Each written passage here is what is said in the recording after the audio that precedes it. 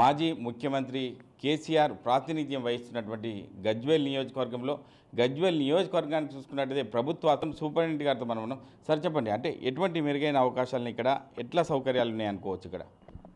ఇక్కడ మనకి వంద పడకల ఆసుపత్రి మనకు రెండు వేల పద్దెనిమిది నుంచి నడుస్తుంది ఇక్కడ. మనకి ఇక్కడ అన్ని రకాల ఓపీ సేవలు అందించబడుతున్నాయి. అంటే పిల్లల విభాగం కానీ general medicine general surgery ortho విభాగాల్లో అన్ని సేవలు అందిస్తున్నాము.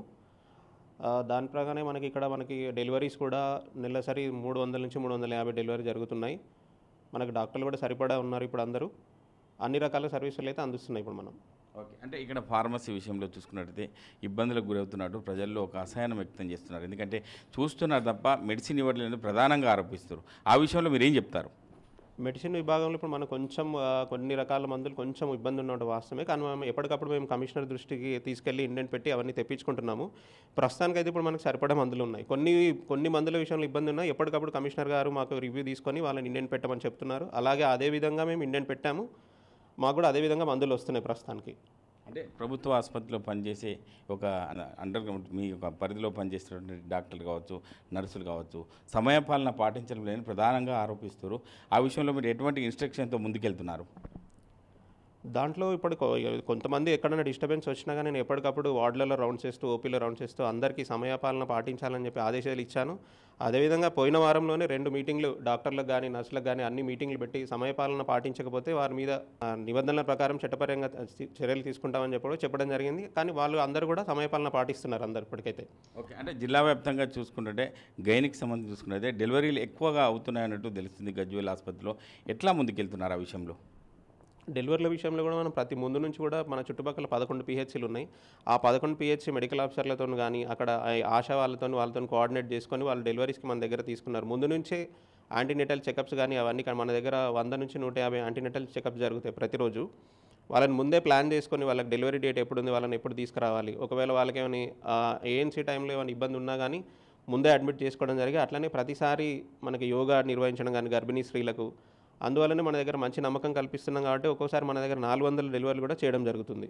ఓకే. అంటే గతంలో మాజీ ముఖ్యమంత్రి ప్రాతినిధ్యం వహించినటువంటి ఈ యొక్క నియోజకవర్గంలో మానిటరింగ్ రివ్యూస్ ఎక్కువ జరుగుతుండేది. కానీ ఇప్పుడు ప్రభుత్వం మారింది. ఇప్పుడు స్థానికంగా ఎమ్మెల్యేగా ఉన్నటువంటి కేసీఆర్ ఎటువంటి రివ్యూలకు కూడా రావడం లేదు. మరి ఎటువంటి సమస్యలు ఉత్పన్నమవుతున్నాయి అనుకోవచ్చు?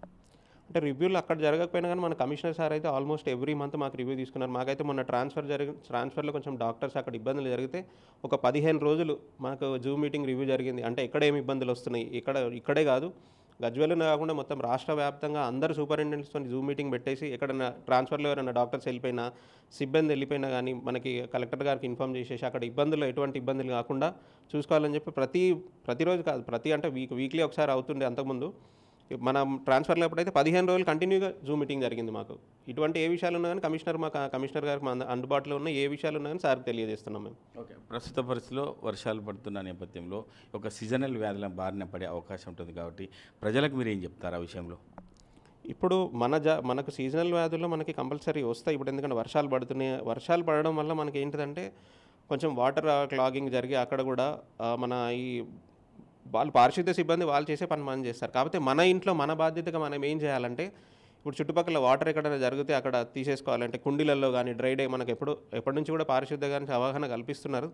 మన బాధ్యతగా మనం తీసుకొని ఇంట్లో ఎక్కడ నీళ్ళు నిల్వ ఉన్నట్టయితే వాడిని తీసేయడము మన మన పరిసరాలను మనం పరిశుభ్రంగా ఉంటే మన బాధ్యతగా మనం నిర్వ మనం నిర్వర్తించినట్టయితాం అదేవిధంగా మన అట్లాంటి ఏమైనా ప్రాబ్లమ్స్ వస్తే వాళ్ళు మున్సిపల్ సిబ్బందికి కూడా ఇన్ఫామ్ చేస్తే వాళ్ళు కూడా వాళ్ళు వాళ్ళ కార్యక్రమం వాళ్ళు చేపడితే కూడా మనం సీజనల్ వ్యాధులను నివారించే అవకాశం ఉంటుంది.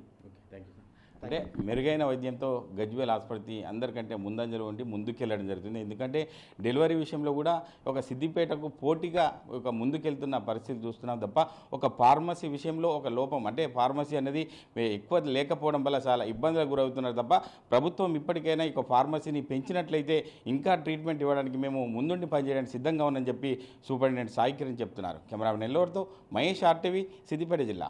మరిన్ని వీడియోస్ కోసం ఛానల్ని సబ్స్క్రైబ్ చేయండి. లేటెస్ట్ అప్డేట్స్ కోసం వాట్సాప్ ఛానల్ని ఫాలో చేయండి. అండ్ లింక్ డిస్క్రిప్షన్లో ఉంది.